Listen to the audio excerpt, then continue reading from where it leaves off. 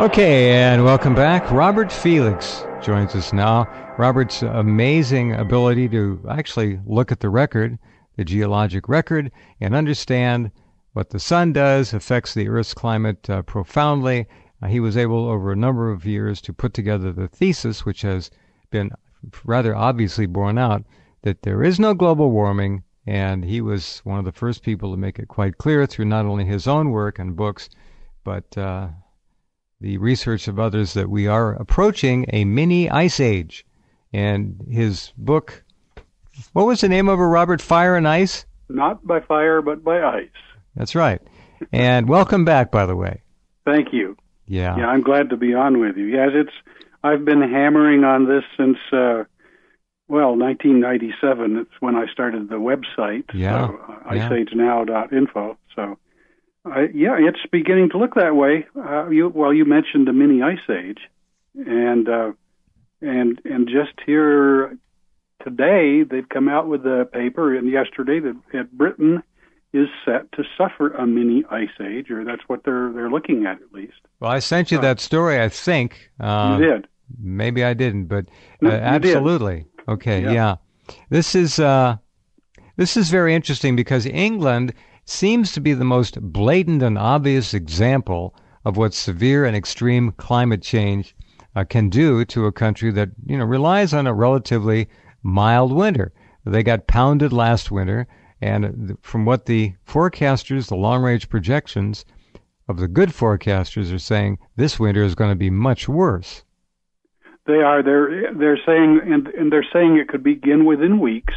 Correct. And uh, and and what they're looking at is is uh, is they're talking about it would it would could match up with the little ice age that they had 300 years ago during the Maunder minimum.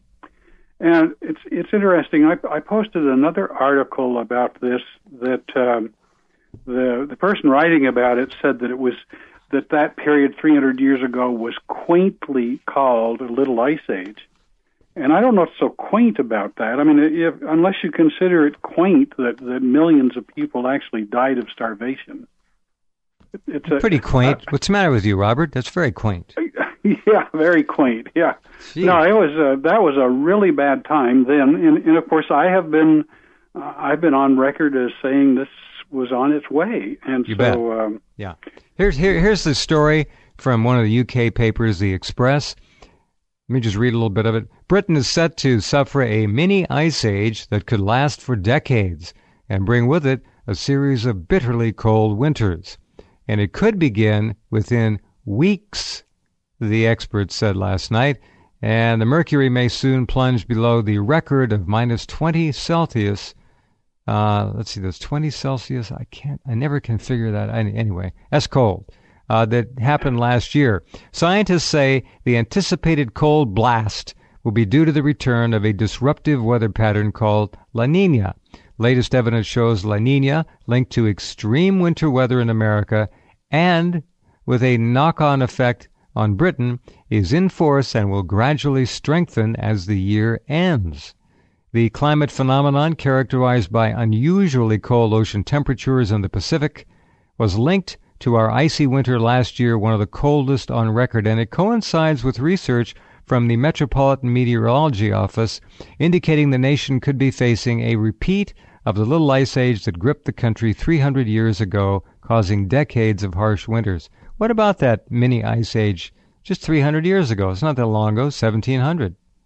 No, that that came about during what's known as the Maunder minimum, which was a period of about 80 years when there were no sunspots on the sun. Um, and, and of course, there have been a lot of the global warming scientists who've been insisting that uh, sunspots have nothing to do with our climate because they want to be able to hammer on the global warming thing. And I don't know how they can possibly say that that they have nothing to do with the climate. It shows up in the geologic record that that uh, this Maunder minimum, because it was named after a, a man by the name of Maunder who who discovered it. He was watching sunspots on the sun and and realized that there weren't any during those times, and that the, that it got cold, and literally millions of people died of starvation. It, it uh, I mean, so it's a big deal. Now, the other thing, though, you when you were reading that article, you mentioned La Nina, and you mentioned uh, uh, Great Britain. But you know, there, it just came out in the paper, or or uh, just came out today, not in the paper, but but on the internet, and, and that uh, it came from AccuWeather.com that Vancouver, BC, and Western Canada are facing a record cold winter, record cold this winter, and of course that uh, you know if it's happening in Vancouver, BC, I would say it's and Western Canada, I'd say that's probably also going to happen in Seattle and and in in the United States, Pacific Northwest.